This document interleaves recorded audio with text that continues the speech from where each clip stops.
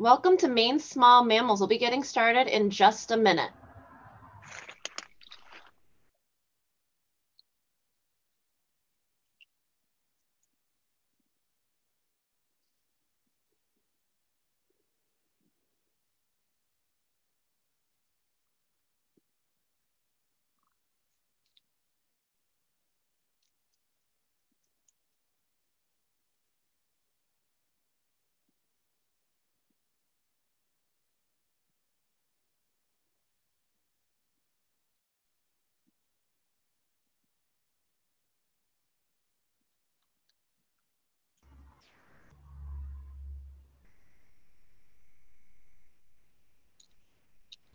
Welcome to Maine Small Mammals. We're going to go down to Jade, who is live at the Maine Wildlife Park in Gray. Good morning and welcome. My name is Jade, and I'm an educator for the Department of Inland Fisheries and Wildlife here in Maine. And today I'm at the Maine Wildlife Park in Gray to talk about small mammals. The wildlife park has a lot of different species of native Maine animals. Um, we have moose and black bear, different small mammals um, like the porcupine, beaver, fisher, and raccoon, um, lots of species of raptors and different reptiles. So all kinds of different animals that are native to Maine. And all the animals that are here are here because they can no longer live in the wild on their own. So they are, um, in some cases, orphaned, uh, injured, or in some cases, they were even illegal pets. Um, that can no longer live in the wild. So they are the residents here at the wildlife park now. And if you want to learn more about the park, you can go to mainewildlifepark.com um, to learn about the wildlife park. So today we're going to talk about small mammals. I am sure that most of us can think of and imagine our large mammals here in Maine, animals like our moose, bear, deer, fox, bobcats, and lynx. But how many of the smaller mammals do you know? We have a lot of them. I named a couple that we have here at the park, but some of the other small mammals we have here in Maine are things like the porcupines, different species of squirrels, woodchucks and skunks, possums, raccoons, muskrats, different weasels, um, rabbits, the little brown bat, and star-nosed moles, also meadow voles and white-footed mice, so all kinds of different small mammals, and they all live in a variety of different habitats and are all very important parts of the ecosystem. And some are predators, some are prey, um, some are scavengers, which is nature's cleanup crew, but they all um, play an important part in Maine's wild ecosystem. And we picked a few to talk about today. The first animal that we're going to talk about is the North American porcupine. And that is the animal that is here behind me. Um, you can see him eating his leaves here. And I don't know if you can see um, quite the other one that's over here on the other side, um, but she seems to be making her way over. So we'll stop and say hi to them a few times as we go along and um, see what they're up to behind us. So porcupine in Latin actually means quill pig. It's a very appropriate name for them. Um, porcupines have very special teeth they have orange teeth that are enriched with iron because they chew on branches and other small plants for food. Um, so they have these special iron enriched teeth that are very strong for eating that plant material. They are most known for the way they protect themselves, those quills on their bodies, the porcupine quills. So that porcupine standing up is the porcupine here at the park. And you can see his mixture of regular fur, his his just brown kind of thick fur, and then the quills that are mixed in there with them, especially there on top of his head is a closer view of those quills. I have some quills here that I can get close up to you hopefully. So this is that quill. And these are a modified hair. So they're made out of the same kind of material that the rest of their hair on their body is, but they're modified um, to serve a different purpose, and that is for protection. Porcupines can have 20,000 quills or more on their bodies. And these quills cannot be thrown from their body. That is a common myth um, that the porcupines can shoot their quills at something when they are in danger, but you actually have to make contact um, with the porcupine to get those quills poked into you. So they cannot throw them. Um, and they do regrow their lost quills, just like the other hairs on their body. If they um, shed or lose some, they will grow back. They also have very long claws. They climb trees and they live up in trees. Um, and they also use those to groom themselves so they can scratch and pick at themselves with their claws so they aren't getting um, quilled themselves in their hands. And they eat browse. So browse is a way of saying parts of trees. So you can see here, this is from our porcupines here at the park, and they have chewed up, they've used those special um, strong iron enriched teeth to chew on this wood. And they've picked out all of the twigs and leaves and eaten those. So that is what they eat. And some of their favorites are um, hemlock and other hardwoods. So if you are in a hardwood forest, um, that is prime porcupine habitat. And you want to look for them um, up in the trees where they'll rest during the day. Um, and if they're scurrying around on the ground and you come up on a porcupine, they'll probably climb right up a tree with their good climbing claws. And he is still just mowing away here behind us. We have um, maple in there for them right now on this side and um, a little bit of hemlock over on the other side. And those are some of their favorites. it's breakfast time. The next animal that we'll talk about is the muskrat. And these, is, these also have um, special teeth for gnawing on um, plants. They look very, very much like a beaver. They live in the water and are good swimmers, but they are much smaller and they don't build um, dams or lodges like beavers do. They make small burrows um, in the embankment of the water and they use aquatic plants like um, cattails, not wood, to make those little shelters for themselves. I have a beaver skull here and the beaver skull is a lot like the muskrat skull. So the muskrat's gonna have the similar teeth um, to the beaver. It's just gonna be a lot smaller. The sun's coming out, so it's really shining on this. We can see those iron enriched teeth, those orangey yellow teeth that are very strong for chewing up those plants. This is the size of the muskrat. So like I said, they are much smaller than a beaver. This is an adult muskrat and an adult beaver is going to be much larger than this, but very similar um, adaptations because they live in similar habitats. So they're gonna have this nice outer layer of fur that's gonna be waterproof um, to help keep them dry and warm. And then thick, fluffy fur underneath that's also gonna insulate them and help keep them warm in their wet habitat. We're also going to talk about some weasels. So there are several different species of weasels here in Maine. The first one that we'll talk about, um, we'll look at a weasel here. Where did my pine marten go? There we go. So this is a pine marten. And this just gives a good general idea of what a weasel um, body shape and design is. So they have these very long, slender bodies. They have very sharp teeth and most um, weasels can take down prey that is up to three times their own body size. So even though they're kind of they're a little bit smaller and like that long skinny shape, they're very very strong and very powerful, and they pack a big punch in a little body.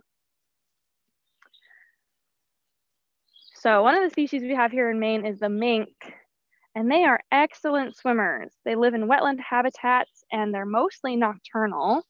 You can see that same slender um, body shape and the long tail. We also have a pine marten, which is the fur I was just holding, and they live up in the trees. They are very, very good tree climbers. Another weasel that is a good tree climber is the fisher. And we often call them fisher cats, but they're actually not related to felines at all. And they don't fish, they do not eat fish. So, kind of a poor name for them, but another weasel. We also have river otters, which are um, the most aquatic of the weasels, and they live in um, small social family groups. Most weasels don't do that. And then there's also the ermine, the short tailed weasel. And they have to eat two thirds of their body weight each day. And they also change their fur color. So that is a picture of um, an ermine on the bottom with the white belly and the brown top. And that is their color um, in the warmer months. But once the snow falls, their body will turn uh, solid white so they can blend into their uh, winter habitat. I have a river otter fur here too. I could show you because again, I said they're the most aquatic of the weasels. So their fur, kind of like the muskrat or the beaver, is designed for living in the water. So it's very sleek and that's gonna help insulate and protect them from getting um, wet and keep them dry and warm. All right. Next animal, with small mammals, we'll talk about are rodents. So here in Maine, we have chipmunks, gray squirrels, red squirrels, flying squirrels, and woodchucks. Some general things about squirrels. They are very fuzzy and they have fuzzy fur and fuzzy tails. They also have those iron enriched teeth for gnawing and eating. They use their tails for balance and even um, as rudders when they're swimming. And they scurry around. They mainly eat plants and they stash food um, for saving for later. The first squirrel that we'll talk about is the red squirrel. So if you're hiking in the woods in Maine, chances are you have heard one of these um, scold you. They have a very sharp chatter if you are getting too close. And they are um, diurnal. That means that they're more active during the day. They survive by storing or hiding food. Pine seeds are one of their favorite. Um, but they hide their food all in one spot. And that's kind of different from some other squirrels that will scatter their food around that we'll also talk about. Um, but they hide their food in one spot so they know where to look um, to get their food. The next squirrel we'll talk about is the flying squirrel. So contrary to their name, they can't actually fly. They um, actually glide. They have these special um, skin folds that go from their front to back legs and they will um, glide from tree to tree using those skin folds like a little parachute to carry them. And they are strictly nocturnal. They will very rarely be seen during the day. They are almost only active at night. And one of the best places to catch a glimpse of these guys is at your bird feeder at night. If you want to watch your bird feeder or set up maybe a little game camera, you might be able to catch these um, flying squirrels hopping around. Next one we'll talk about is the eastern chipmunk. So they are a very small squirrel and they make that chip, chip, chip call that sometimes um, sounds like a bird or is mistaken for a bird call. And they're also active during the day and they do not hibernate, but they do move underground um, during the winter where they've stored most of their food. And then the gray squirrel. So this is a species of squirrel that actually scatters their nuts all around. Um, they have a very good sense of smell. So they actually smell their way back to their stash. They can even smell um, their stored food under a foot of snow. And they're very abundant here at the wildlife park. We have a lot of oak trees and acorns are one of their favorite foods. So we have tons of these gray squirrels here at the park because we have a lot of their favorite food from those oak trees. And they can have two litters a year. Um, each of their litters can have two to four babies. So these gray squirrels, um, these are all the squirrels that we commonly think of as squirrels. But then we also have the woodchuck. And woodchucks are also a squirrel. They belong to a family of large ground squirrels called marmots. They are a burrowing member of the squirrel family and they love to come above ground and wander around looking for flowers and grasses and other little plants to eat. Sometimes they even sneak to it into our gardens and eat our veggies and sugary things in our gardens. And they are actually a true hibernator. So in the winter, their body temps drop below 40 degrees for up to five to six months. So they are a true hibernator. They are not being active and getting up and wandering around during the winter. They are going to a very deep um, dormancy. And Western marmot relatives are nicknamed whistle pigs. And that is because they make a very loud whistling alarm call to alert the rest of the colony and other animals um, when they feel threatened. The next animal we'll look at is an endangered species here in Maine, and this is the little brown bat. They are the only mammal that can truly fly, and they can catch and eat half their body weight in insects every night. So they catch a lot of insects. They are good. Um, they are insectivores. They're going to be eating in insects. And they live in very large colonies. But unfortunately, this makes their population very susceptible to disease such as rabies and white nose syndrome, which is really hurting our little brown bats here in Maine.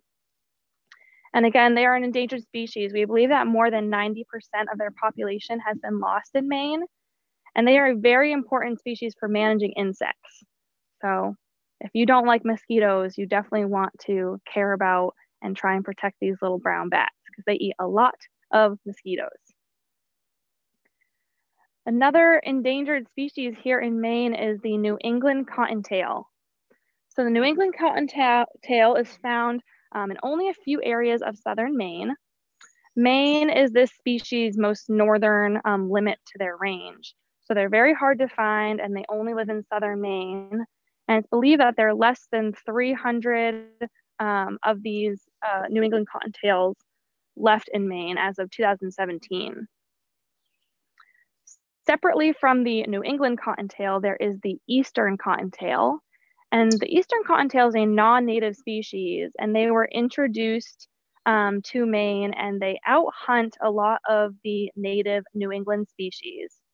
So our native species has shorter ears with little black marks around the around their ears, and a smaller body and a little black spot right between their ears. So again, these New England cottontails are endangered and that is due to um, habitat loss as well as that introduced Eastern cottontail species. We also have snowshoe hare and the snowshoe hare are much more abundant than the New England cottontail. We have a lot of snowshoe hare here in Maine. They change color for different seasons. So in the winter, they have that um, snowy white fur and then they'll have the brown fur um, in the spring and summer. So very much like that ermine, the short-tailed weasel we talked about. They're going to change the color of their fur based on the different um, changes in their habitat for different seasons. And these uh, hare can leap 12 feet in a single bound and run 30 miles per hour. So they're very um, agile, quick animals and they're one of the most important prey um, species for Canada lynx, which is another um, is a feline that lives here in Maine. So very important that we have these snowshoe hare to help our Canada lynx populations as well. The next animal we'll look at is the striped skunk. So I have a skunk fur here. And I'm sure you've seen one of these at night. So they have these white stripes and those stand out in the dark. Skunks are nocturnal, which means they're most active at night. So this white stripe stands out in the dark and it is a warning sign. It warns other animals to stay away because as we also know, skunks spray. So skunk musk is a um, sulfur alcohol compound and it's secreted from their anal glands. And skunks can spray multiple times in a row, um, but it does take time for them to sort of refill their tank if they do spray a lot. But they can spray several times um, back to back. And one of their most common predators is the great horned owl. So the owl is not obviously not very afraid of that stinky uh, musk, and they will swoop in silently and scoop these skunks off the ground. So one of their most most active predators is the great horned owl. The next animal we'll look at is the raccoon. I have a raccoon fur here also. And raccoons are very um, tactile animals. They have a very strong sense of touch and they use their hands to feel for food in streams and under logs and rocks. And these animals will eat almost anything. So they are omnivores, means they eat um, plants and other animals. They'll eat just about anything they can find.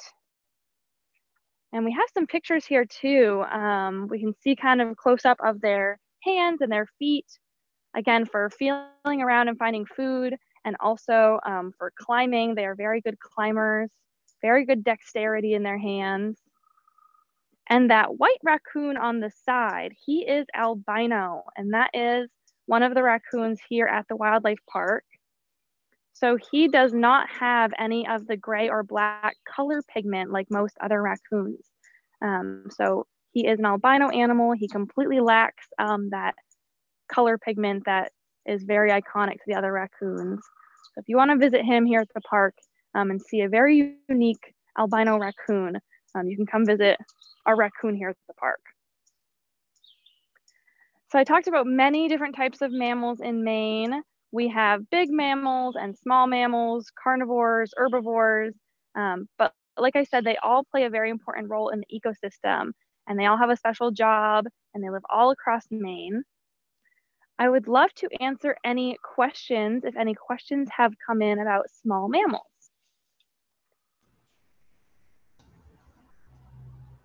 Someone had a question about raccoons. Um, sometimes they're seeing raccoons out um, during the day right now, and they were just wondering if that means that they are definitely sick or if they're just out. So you can't say that they're definitely sick. Um, raccoons are um, going to be more active at night, um, and it can be a sign that maybe they're not finding their food or something is wrong. That they're going out and searching for that during the day. Um, so one of the best things you can do is contact um, either your local animal control or even um, reach out to the Department of Inland Fisheries and Wildlife, and we can maybe try and put you in touch with um, someone who can give you some advice or a local rehabber who can give you some advice or signs to look at. Um, but it could be a perfectly healthy, happy raccoon um, that just wanted to go for a walk during the day also. So just because an animal is mostly nocturnal doesn't mean that there's no chance of you seeing it during the day too.